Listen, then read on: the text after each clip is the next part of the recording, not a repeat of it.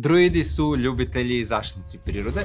Oni su utjelovljenje prirodne otpornosti, vještine i gnje. Za ove buildove sam koristio dvije knjige. Tasha Scholar's Editing i Player Handbook. Uh, link je dole uh, za dućan u kojem smo ih uzeli. To je uh, karta magika i ovim putem se zahvaljujem na sponsorstvu. A što se tiče spelova koje sam preporučio u videu, možemo napraviti video u budućnosti sa tim spelovima ako vi izrazite želje u komentarima. Druidi koriste e, light i medium armore, te shieldove, ali je bitno da armori e, nisu od metala. Od oružja koriste e, club, dagger, dart, javelin, maces, quarterstaff, scimitars, sickles, slings i spears. E, dobijete proficiency u herbalist kitu, a saying throwovi su wisdom i. Za skill proficiency odaberemo animal handling i medicine. Što se rase tiče, za oba dva pod builda ćemo odabrati elfa. Uh, Wood Elf dobije uh, plus 2 uh, na dexterity plus 1 na wisdom. Movement mu je 35 fita, dobije ability Mask Wow. Dark Vision mu je 60 fita, ima Faint Ancestry, znači dobiva advantage na charm i magije vas ne mogu spavat, dobije ability Trance, tako da medicira 4 sata, znači ne mora spavati. I kao bonus dobijemo proficiency u Perception skill. Ako vam DM dozvoli da igrate po novim pravilima iz Tasha Scholar of Everything, slobodno možete odabrati bilo koju klasu, pa joj promijenite bonuse na ability, recimo Wisdom plus 2 i plus 1 na Constitution. Siege ability, opet idemo po by, 15 wisdom, dobijemo plus 1, constitution 15, dexterity 14, dobijemo plus 2, strength 10 i charisma intelligence 8. Što se uh, levela tiče, na prvom naučimo druidi koji je tajni jezik uh, druida i pomoću njega možete razgovarati sa drugim druidima. A da vas nitko drugi ne razumije, e, mora, možete ostavljati tajne poruke koje nitko ne može pročitati. Uz to dobijete i svoj spellcasting ability, to jest naučimo e, crpiti magiju iz prirode.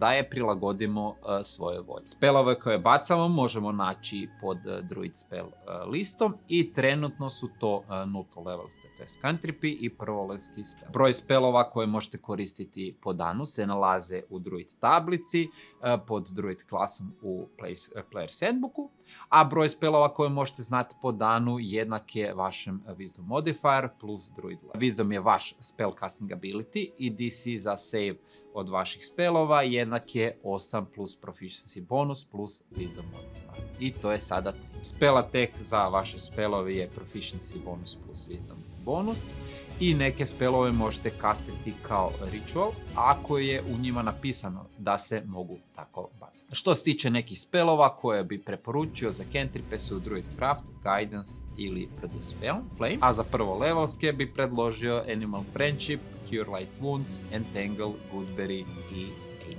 Na drugom levelu dobijemo Wild Shape ability i Wild Companion ability, te odabiremo svo, dru, svoj Druid Circle.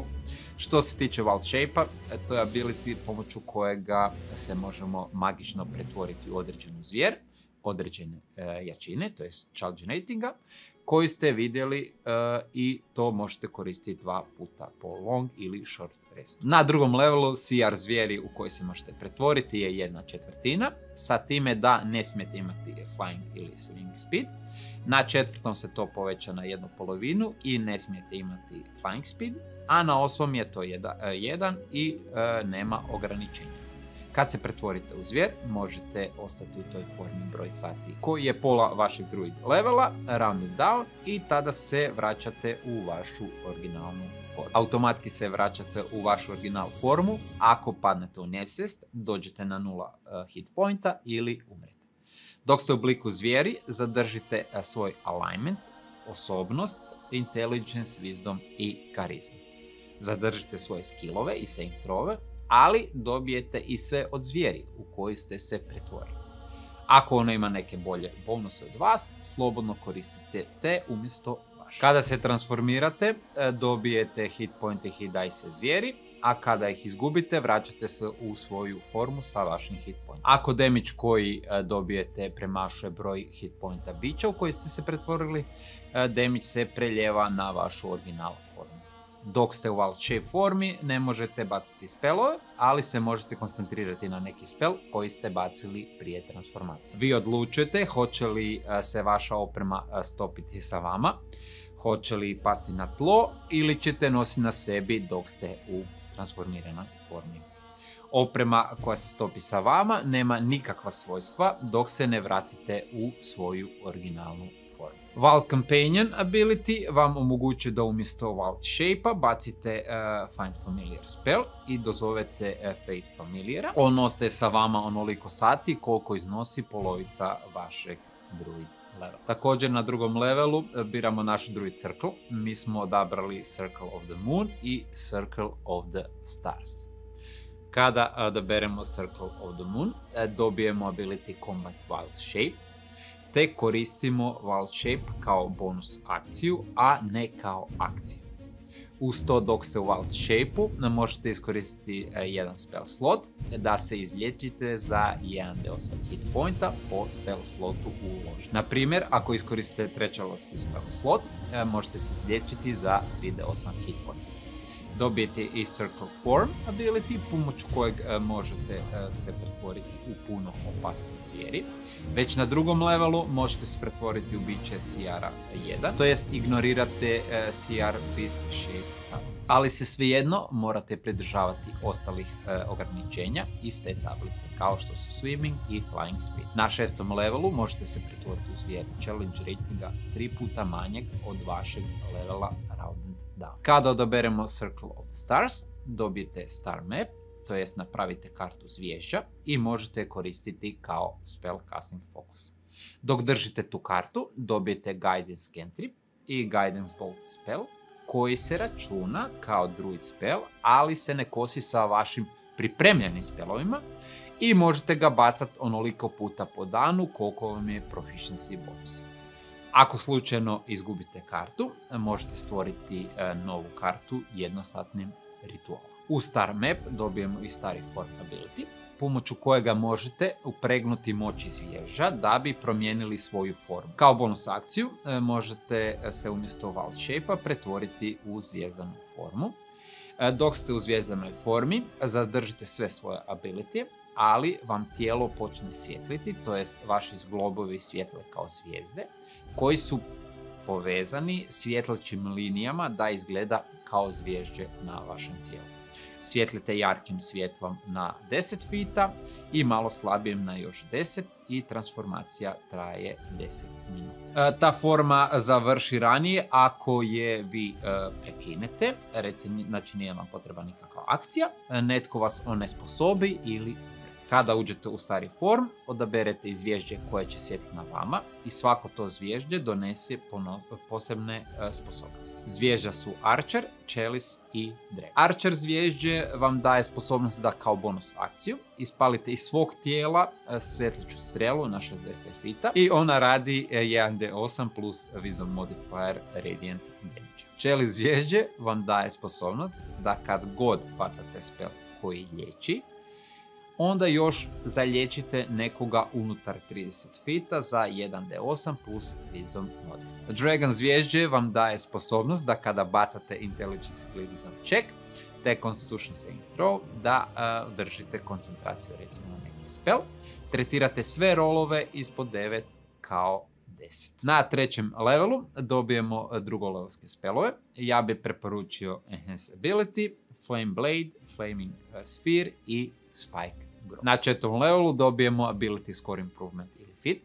E, mi ćemo dobiti e, plus 2 na Wisdom i sad nam je Wisdom 18. Uz to još dobijemo i Wild Shape Improve. Na petom levelu dobijemo pristup trećolovskim spelovima i tu bi preporučio Call Lightning, Conjure Animals, Flame Arrow i Revive. Na šestom levelu dobijemo opet feature e, Druid Circle-a. Za Circle of the Moon dobijemo Primal Strike, koji čini e, vaše e, napade magičnima dok ste u Beast form. A za Circle of the Stars dobijete feature koji se zove e, Cosmic Omen, pomoću kojega koristite svoju zvijezdanu mapu da podijelite volju sve. Kada god završite long rest, možete zatražiti pretkazanje od vaše zvijezdane karte.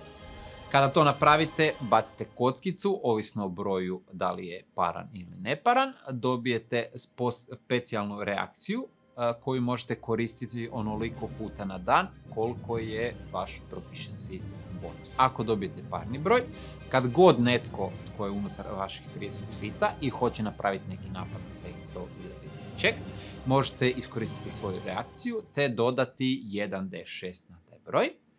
Ako je neparan, onda tko god je unutar vaših 30 fita i hoće napraviti napad sa intro ili ability check, vi mu oduzmete 1d6 uh, sa tog rola. Na sedmom levelu dobijete pristup četolevskim spelovima i ovdje bi preporučio uh, Charmancer, Fire Shield, Ice Storm, Polymorph i Summon Element. Na osmom levelu opet dobijete Ability Score ili Fit. Mi ćemo odabrati još dva na Wisdom i sad nam Wisdom iznosi 20.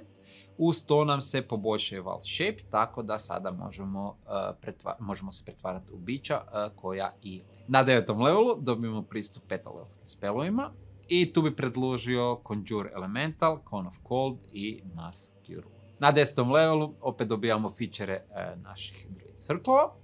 Za Circle of the Moon dobijete Elemental Wild Shape, pomoću kojega se sada, e, kada iskoristite dva e, Wild Shape-a, možete pretvoriti u Air, Earth, Fire ili Water Elemental. Za Circle of the Stars dobijete feature koji se zove Twinkling Constellation, pomoću kojega poboljšate e, vašu stari form i sada su vam kocke za Archera Chalice 2D8 i dok je Dragon aktiviran, dobijete Flying Speed 20 fita i možete letiti. Uz to svaki turn možete mijenjati zvježđe na vašem tijelu. Na 11. levelu dobijete 600 levelske spelove. Tu bi preporučio Druid Groove, Flash to Stone, Heal i Heroes Fist. Na 12. levelu opet dobijemo Ability Score in Improvement. Mi ćemo odabrati fit koji se zove Resilient Constitution Sada ste proficient u Constitution Saving throwovima i dobijete plus 1 na taj isti ability, te nam je sad Constitution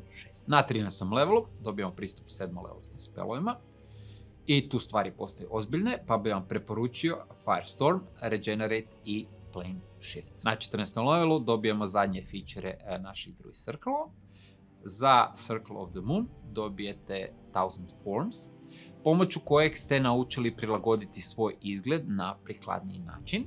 To znači da sada možete baciti Alter Self Spell po želji. Za Circle of the Stars dobijete feature koji se zove Full of Stars. I ono vas čini djelomično netjelesnim ili incorporal i imate uh, resistance na piercing, slashing i bludgeoning. Na 15. levelu dobijete pristup 8 levelskim spelovima. Moji favoriti su ovdje uh, Animal Shape, Feeble Mind i Earthquake. Na 16. levelu dobijemo Ability Score Improvement ili Fit. I mi ćemo odabrati fit uh, koji ja obožavam. No, God! No, God, please, no! No! A to je Tough. Znači dobijemo dva hit pointa po svakom na 17. levelu dobijemo 9 levelske spelove i moram priznati da su mi svi super, ali bi ovdje izvojio Shape. Na 18. levelu ćemo dobiti Timeless Body i sada svakih 10 godina koje ostarimo, naše tijelo ostari samo jednu godinu. Uz to dobijemo i Beast uh, Spells Ability, pomoću kojega možemo baciti spelove dok smo u Wild Shape-u, ali samo one koji ne zahtijevaju materiju. Sada ste proficient u dexterity saving throwsima i dobijete plus 1 na dexterity koji vam je sada 7. Na 20. levelu e, postanete Archdruid i možete koristiti ability Wild Shape neograničeno puta po dan. Uz to ignorirate sve verbal i somatic komponente spela, te sve materijal koje nemaju cijenu i koje spel ne konzumira. To se odnosi na bilo koju formu u kojoj se nalazite.